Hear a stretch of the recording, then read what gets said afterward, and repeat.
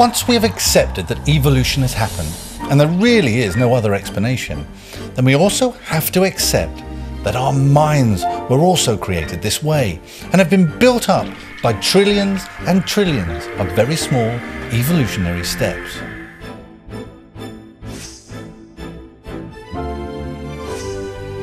Now this is really an incredible statement and we will discuss some of the implications of this in the coming lessons.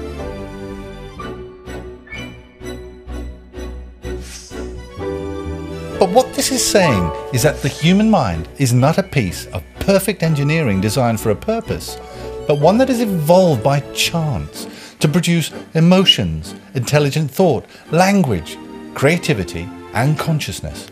It has produced the soul, the you, and the me.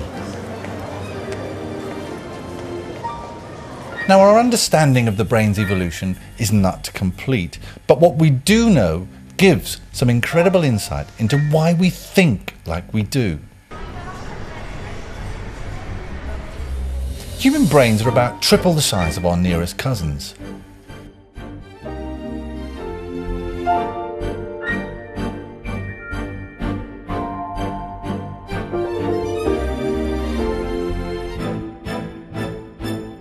Our brains have grown from the bottom up there has been no major overhaul, but the gradual addition of new parts on top of the old.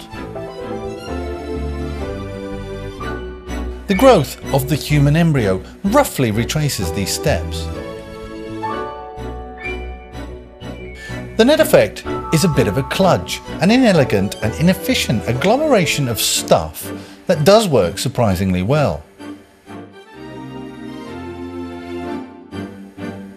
Some of these parts have been recycled.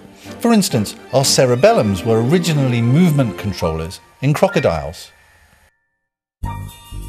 And others were a solution to a problem many millions of years ago.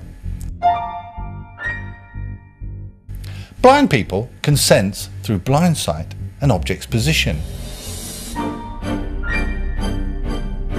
This ability was obviously useful before the advent of vision, and it is now no longer linked to consciousness, but still remains in this kludge.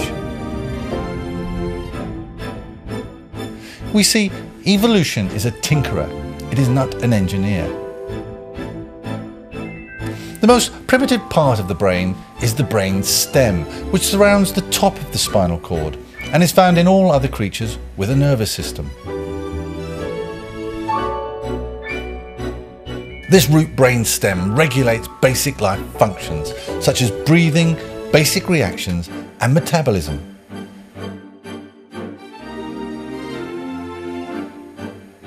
This part and the midbrain does not think or learn, but is a set of pre-programs that keeps the body running and we are not at all conscious of them.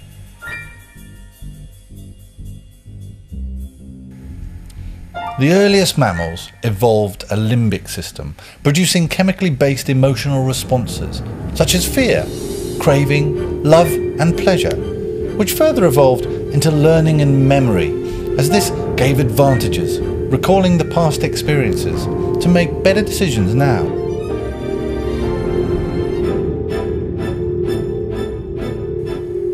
About a hundred million years ago, the mammalian brain had a major growth spurt the ancient planning centre, which was a thin two-layer cortex, developed into a much larger neocortex. Now this is the area involved in sensory perception, spatial reasoning, motor commands, conscious thought and language. This offered an extraordinary intellectual edge, leading to many advantages when mixed with the emotional limbic system, such as pair bonding and mother-child bonding, allowing the young of the species to grow slowly with protection from the parents.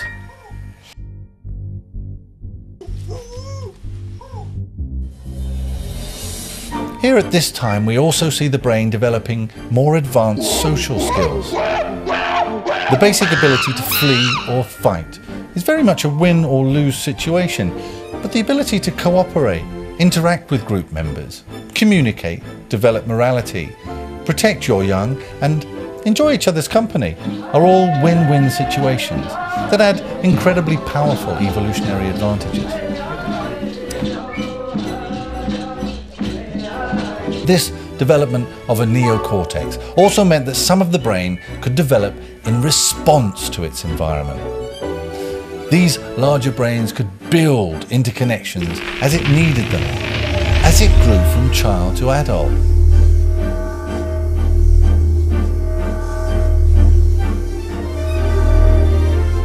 This meant that the complex social and physical world we found ourselves in could influence how we developed our responses to it the ultimate in adaptability.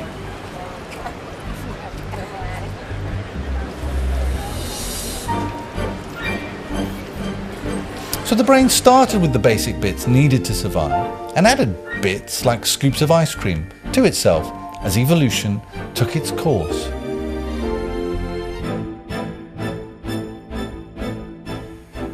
Once neurons responsible for the rapid electrical signalling, had been involved in jellyfish about 600 million years ago, we find they pretty much remain the same as they do today in us. They're just more specialised, and there's lots more of them. Basic mechanisms for transmitting electric impulses in the brain is different concentrations of sodium and potassium in solutions inside and outside of the cells and is also a very ancient mechanism. It actually conducts electricity at less than one millionth the speed of copper wire. It is suggested that this particular kludge is possibly responsible for the development of memory, as this leaves a physical footprint on the brain which can be recalled.